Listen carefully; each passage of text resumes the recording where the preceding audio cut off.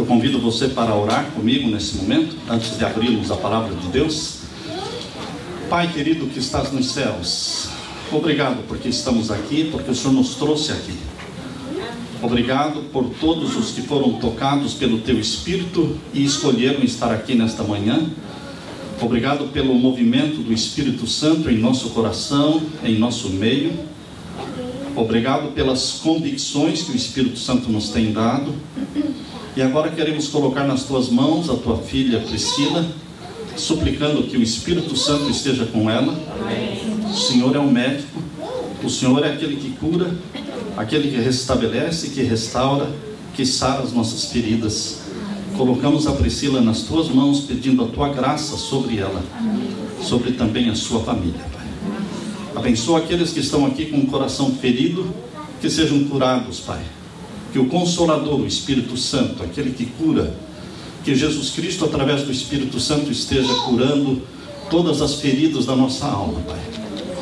Que ninguém aqui rejeite estar neste momento ligado com o Senhor, através da ceia do Senhor.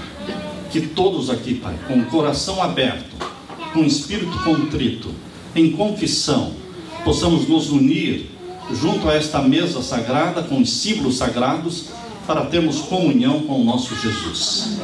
Dá-nos a tua bênção. É em nome de Jesus que pedimos. Amém. Queridos, vamos abrir a Bíblia em Isaías capítulo 6. Isaías capítulo 6 e vamos ler os versos 1 até o verso 5.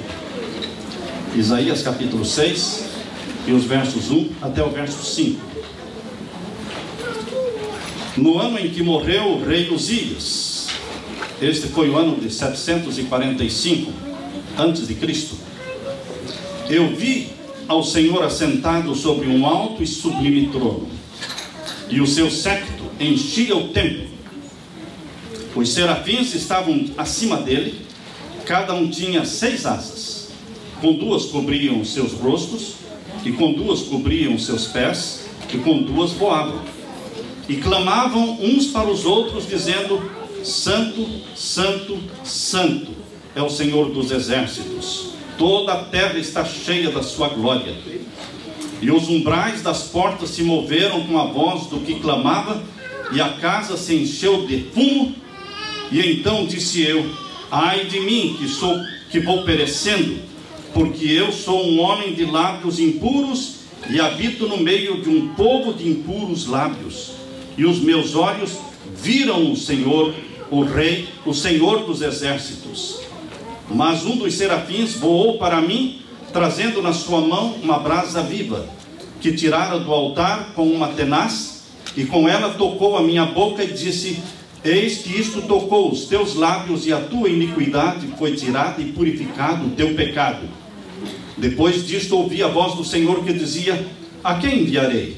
E quem há de ir por nós? Então disse eu: Eis-me aqui, envia-me a mim.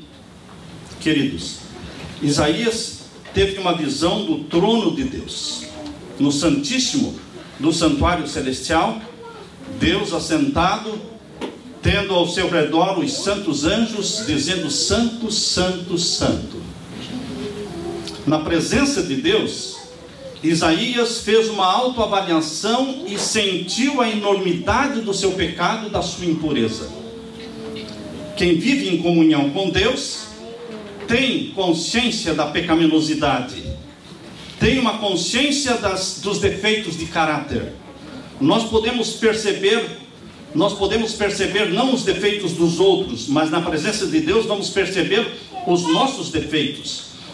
Longe de Deus, as pessoas podem até se orgulhar de santidade, mas na presença de Deus, o Espírito Santo nos convence do pecado, da justiça e do juízo.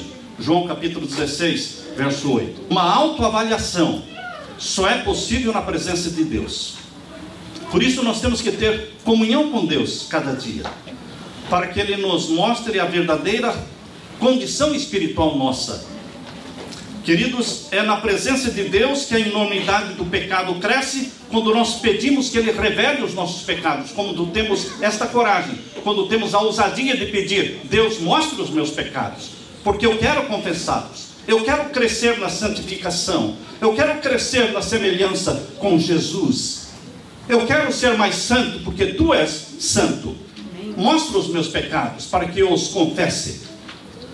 Um dia uma irmã da igreja chegou até mim e disse: Pastor, eu comecei a orar a Deus para que mostrasse os meus pecados e eu estou assustada porque Ele tem me mostrado tantas coisas que eu não percebia, coisas que eu não via, coisas que eu não tinha conhecimento, e Deus está me revelando.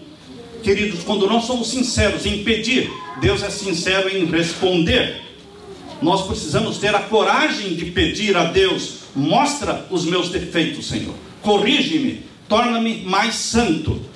Nossa primeira preocupação, queridos, não tem que ser com o pecado do meu irmão nossa primeira preocupação não tem que ser com os defeitos de caráter dos meus irmãos, mas a minha primeira preocupação tem que ser a minha santificação.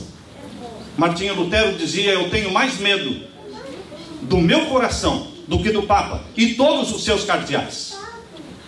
Eu tenho mais medo do meu coração, dizia Martinho Lutero. Queridos, nós precisamos não desconfiar dos outros, mas desconfiar de nós mesmos romper com os pecados que há décadas estamos praticando, com aqueles pecados conhecidos, com aqueles pecados acariciados. Devemos parar de definir o que é pecado. Parar de definir o que é pecado e o que não é pecado. É muito comum a pergunta: Pastor, é pecado? Isso é pecado aquilo? Vamos parar de definir o que é pecado e vamos orar a Deus pedindo que o Espírito Santo nos convença dos nossos pecados. Amém. É Ele que nos convence. Todo pecado que cometemos fica escrito em cada fibra do nosso corpo, em cada célula, em cada nervo do nosso corpo, e a consequência é um apetite cada vez maior para o pecado. Uma consciência culpada, queridos, ela gera doenças, ela fere e rouba a alegria de viver. E para parar de sofrer a consequência, pouco a pouco, a consciência, a mente vai se acostumando, vai se ajustando ao pecado. Este é um recurso é, humano, da mente humana. Para parar de sofrer, ela vai se ajustando aos pecados e a nossa consciência vai se cauterizando. Hoje, queridos, é dia de autoavaliação. Hoje é dia de confissão. Hoje é dia de perdão. Hoje é dia de salvação. Amém. Nessa noite eu tive um sonho. Nesse sonho eu ouvi distintamente a voz de Deus falando uma frase. E esta frase acordou comigo de manhã. Eu disse para minha esposa: a frase que Deus soprou no meu ouvido é esta: Você não tem 30 anos para se preparar para o céu. Você só tem o dia de hoje. Você não tem 30 anos para se preparar para o céu. Você só tem o dia de hoje. Queridos, isso me impressiona. Porque a nossa salvação não está no passado a nossa salvação não está no futuro, a nossa salvação está no presente. É no dia de hoje que eu me salvo, é no dia de hoje que eu me perco. Esta frase impressionou a minha mente.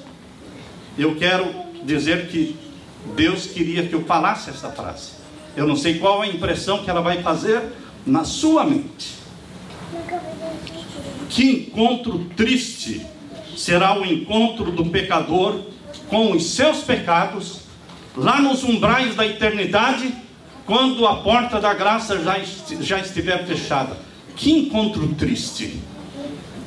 Não é o momento para você e eu nos encontrarmos com os nossos pecados nos umbrais da eternidade, quando a porta da graça já estiver fechada. Não é o tempo. Não é o tempo o tempo de encararmos os nossos pecados, olharmos para eles e dizermos: Senhor, eu pequei, como Davi disse: Eu pequei, Senhor. O tempo é agora, é hoje. O verso mais triste da Bíblia é o verso que está em Jeremias capítulo 8, verso 20. Não existe um verso mais triste que este. Jeremias capítulo 8 e o verso 20. Acabou o verão, passou o tempo da colheita, mas nós não estamos salvos. Que triste. Mas hoje, queridos, é dia de regozijo. Hoje é dia de confissão. Hoje é dia de perdão. Hoje é dia de salvação. Porque Hebreus capítulo 3, verso 15, em Hebreus capítulo 3, verso 15 diz: "Se hoje ouvirdes a voz do Espírito Santo, não endureçais o coração". Hoje. Certa vez uma família aqui nos Estados Unidos, eles tinham um menininho de 4 anos de idade. O pai estava no trabalho, uma família rica, viviam numa mansão, mobília cara, vasos e jarras que eram de grande valor. E o menino enfiou a sua mão numa jarra preciosa e agora não conseguia tirar a mão. A mãe veio correndo e tentou tirar a mão do menino da jarra. Ela não queria quebrar aquela jarra, mas não conseguia. Telefonou para o pai e o pai veio correndo do trabalho Tentou também com todos os esforços, mas não conseguia tirar a mão do menininho de dentro da jarra. Então o pai decidiu: nós vamos ter que quebrar a jarra, não tem outro jeito, vamos quebrar. Mas antes de quebrar, ele teve uma ideia. Ele perguntou para o menino: Filhinho, para ajudar a tua mão a sair de dentro da jarra, abra um pouquinho a mão. E o menininho disse: Eu não posso abrir a mão, papai. Porque se eu abrir a mão, as moedinhas vão cair. O pai pegou um monte de moedas, colocou na outra mão do menino e disse: Tudo bem, filho, agora pode abrir aquela. Ele abriu a sua mão, a moedinha caiu e ele tirou a mão. Queridos, o que é que nós estamos segurando na nossa mão? Qual é a armadilha? Qual é a armadilha? Qual é a arapuca? Onde você meteu a sua mão está preso, está dominado por Satanás e não consegue sair. O que é que você está segurando na sua mão? Abraão segurou em sua mão uma mentira feita lá na, na terra do Egito. Mas ele abriu mão desta mentira e confessou o seu pecado. Moisés segurou em suas mãos o sangue de um homem que ele matou no Egito. Mas ele confessou o seu pecado e Deus colocou na sua mão a vara do poder. Acã segurou na sua mão uma barra de ouro e uma capa babilônica, e ele morreu com esta barra de ouro e esta capa babilônica, e a esposa e os filhos morreram com ele. Porque os nossos pecados têm influência sobre os outros. Essa história, esta frase que você ouve, eu sou dono do meu nariz, eu estou pecando, o problema é meu, como o problema é seu? Você não tem pai, você não tem mãe, você não tem esposa, não tem filhos, não tem familiares, porque nós não podemos colocar nossos pecados dentro de uma garrafa, colocar uma rolha, fechar, e eles vão, se, vão prejudicar só você. Não, meu querido irmão. Você vai prejudicar muita gente que está ao seu redor, como aconteceu com Acã. No tempo de Eli, o sacerdote, seus filhos, Opini e Finéia, seguraram nas suas mãos a prostituição, a promiscuidade. E Eli e seus dois filhos pereceram. O povo de Israel segurou nas mãos ídolos, imagens de Astarote, Tamuz, Baal e tornaram-se escravos dos filisteus. O rei Saul segurou na sua mão e não abriu mão do ódio, do ressentimento contra Davi durante décadas. Ele só pensava em matar Davi. E ele morreu no seu pecado. Queridos, o que, que nós estamos segurando em nossas mãos? Ódio, rancor, alguém que você deveria ter pedido perdão, buscado reconciliação, mas não teve coragem. Agora é o momento. Agora é o momento. Você pode escrever, você pode telefonar, você pode dizer: Senhor, eu ao sair daqui, eu vou diretamente falar com fulano. Eu vou falar. Eu quero reconciliação. Eu não quero segurar na minha mão nada que venha impedir a bênção de Deus na minha vida. Deus quer santificar a minha mente, Deus quer santificar o meu coração, Deus quer santificar a minha família, mas eu tenho que abrir mão do pecado. Nossa religião, queridos, precisa ser feita de confissões, porque a salvação está nas confissões. Não é quando pecamos que nos perdemos, é quando não confessamos que nos perdemos. O problema não está no pecado, meu irmão. O problema está na não confissão.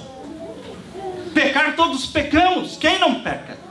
Não há um justo sequer que faça o bem e nunca peque. Mas nós confessamos os nossos pecados. Nós nos reconciliamos com Deus. Como Davi disse: Senhor, eu pequei. E, o, e a resposta veio de imediato. Disse Deus para o profeta Natan: Diga para Davi: Perdoado está o teu pecado. Regozije-se. Vamos participar, queridos, da ceia do Senhor. Vamos comer do pão, vamos beber do vinho. Vamos lavar a nossa alma no sangue de Jesus Cristo e que Jesus encha a tua mente, a tua vida da paz duradoura que Ele tem para dar. A minha paz eu vos dou. Fique com a graça de Jesus. Celebremos juntos com alegria a ceia do Senhor. Amém? Amém.